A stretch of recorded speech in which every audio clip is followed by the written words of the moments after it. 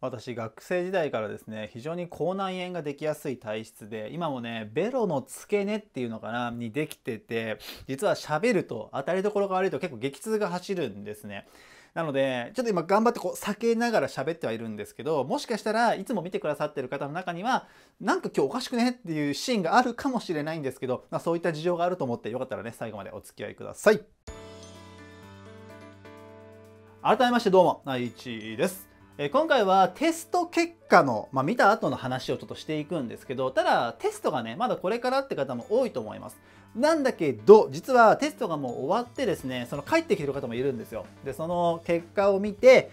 やばいと。で、まあ、やばいだけだったらいいんですけどもうこの学校じゃやっていけないかもしれませんみたいなもうなんか根本的にもかなり打ちひしがれちゃってる。子とかもいてですね、まあ、その子その子向けというかそういう方向けに話をしていきます。だからテストがまだね受けてない方は関係ないんですよ正直。関係ないんですけどただ誰しもそういう落とし穴にはまる可能性があります。で自分がよく見てた生徒ではその例えばその新学期始まるじゃないですか。で、まあ、そこから見てるでしょ。あこの子ハマりそうだなって思う子いるわけですよ。でも本にはまるなんてみじんも思ってないんですよ。でもハマるんですよ。だからそういう子とかには事前に話します。こういう落とし穴があるんだよって。なん言っとかないと自分が落とし穴にはまるわけがないって思ってる人ほどはまった時のダメージが大きいんですよ。なので今回はそういう、まあ、落とし穴があるっていうところと考え方があるっていうのをちょっとまあなんだエッセンスとして覚えておいてもらえたらと思います。で何が伝えたいかっていうと主に2つあってまず1個目がテストっていうのは毎回うまくいくわけじゃねえんだぞっていう話です。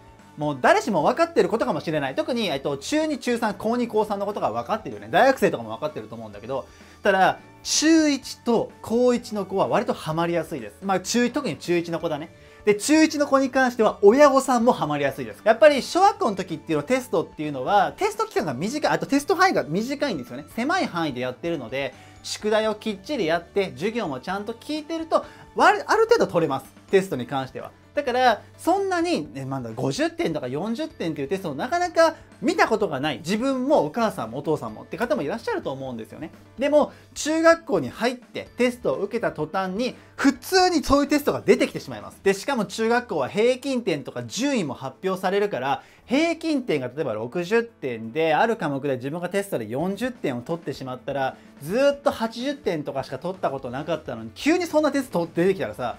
まあ打ちひしがれますよね。で本人もそうだし保護者の方からしても「えどうしたの？我が子」みたいな。になってしまって本人親御さんも言いたくないんですよ正直。言いたくないの。言わない方がいいのは分かってるんですけどでも何か言わないと自分の動揺も落ち着かないしっていうので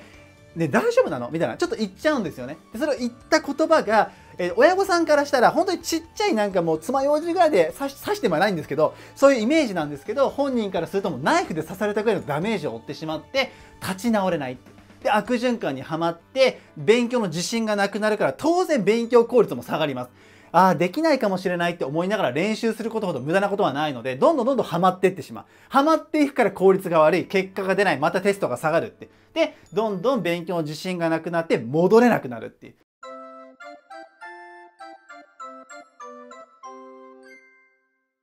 でそうなってほしくないのでまず1つ目としてはテストがうまくいかないことも普通に起こるんだっていうとこです。まあ、さっき言った新中1、新高1の子たちはもう学校自体が変わってシステムも変わってます。もちろん高校っていうのは中学校の延長みたいなもんだから同じようなスタイルは出されます。でも科目も増えるし、やっぱり進度、勉強進度も速くなっていくし、内容も難しくなってる。中学校と同じような勉強リズムでやってしまうとうまくいかないんですよね。多くの方が。だから失敗してしまう方も多い。それに中2、中3、高2、高3の方ももちろん勉強のね、テストの出され方とかは分かってます。分かっているけれど、先生が変わっているので、やっぱり要領変わっていくわけですよ。あれって去年の先生ここ勉強してたらできたのに今年うまくいかねえぞってことが起こってくるんですね。だから最初のテストって非常に失敗しやすい。だから今回の結果を見てうまくいかなかった方は特に自分がだけがうまくいってないみたいな風に思っちゃってる方多いと思うんですけどそうじゃないって。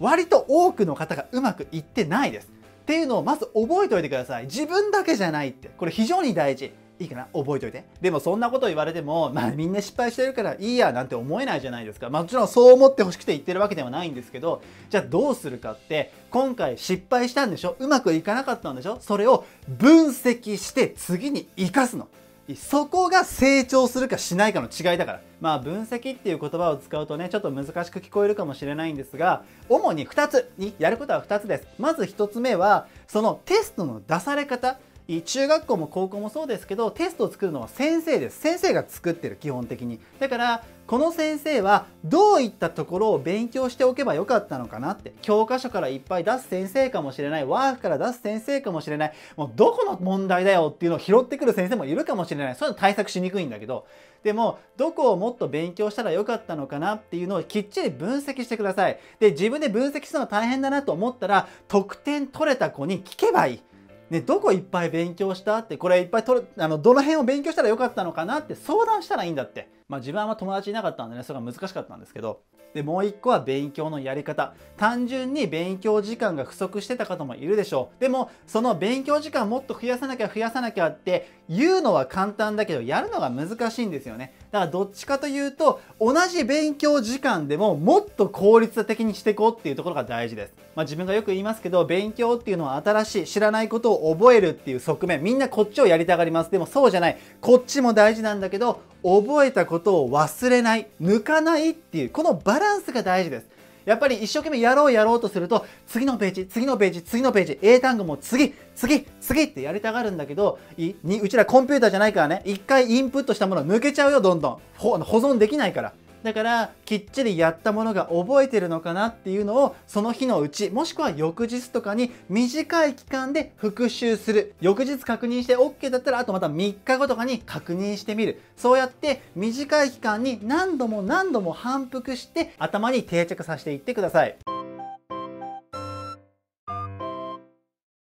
で最後にですねちょっと話が変わるんですけどどうしても伝えたいことがあって自分はよく塾講師の時代から生徒に2回連続で失敗するなそして2回連続で成功しろっていう話をよくしてます。これは何かっていうと例えばテストの成績もじゃあ今回100人中70位ぐらいでうまくいかなかった方がいるとします。それを2回連続では取るなと。2回連続で取ってしまうともうこの辺なんだってやっぱりイメージが固まっちゃうんですよね。そでイメージが固まってしまうとそっから上がるのって必要以上のエネルギーが必要になってしまいます。だから今回うまくいかなかった方に今さみんなも失敗失敗した人いっぱいいるよっていう話とか気にすんなみたいな話をしてるのは1回の失敗なんだまだ。だから次に生かせて次は失敗すんなよって頑張っていこうぜっていうのは伝えたくて、まあ、話してたんだけど2回連続の失敗は非常にその後がなんだろう苦しくなってしまうのでまあ、ぜひね、まあ、ちょっとそうするとさえ次失敗できないどうしようって思っちゃう方もいるかもしれないんだけどぜひ今回の失敗をエネルギーに変えてほしいです。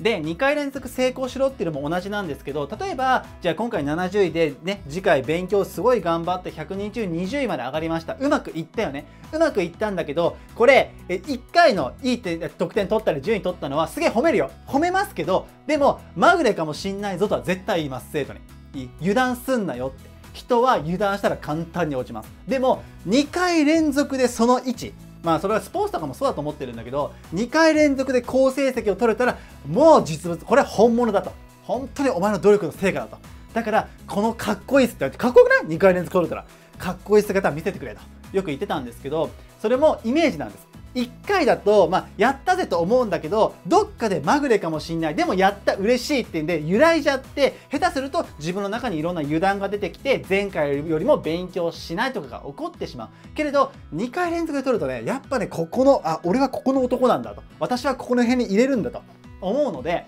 落ちないんですよねなかなか。なかなか落ちにくくなっていく。なのでぜひ2回連続の失敗はしない。2回連続の成功をするっていうのをちょっとなんだろう大事にしてほしいというか思っといてください。これは中学校3年間高校3年間でも自分にとっては非常に大事だと思っているのでよかったら参考にしてもらえたらと思います。ドワッと話してきましたけどここまでご視聴いただきありがとうございました。今仕事部屋をねあのクーラーつけずに喋ってたらめっちゃ汗だくになってしまいましたけどあの自分が言うのもね説得力ないんですが熱中症非常に気をつけてください。室内でもなりますよ。なしきっちり水分とってあとはと生活リズムがすごい大事です。睡眠時間きっちりとってって今ね多分いろんな学校急に始まってさみんな疲れてると思います。テスト勉強しなきゃあーってなってる方もいると思うんですけど睡眠時間をとってください。ねきっちり休んでリズムよく過ごしてもらって体が資本ですから、ね、体が一番大事なんでねその辺も大事にしつつ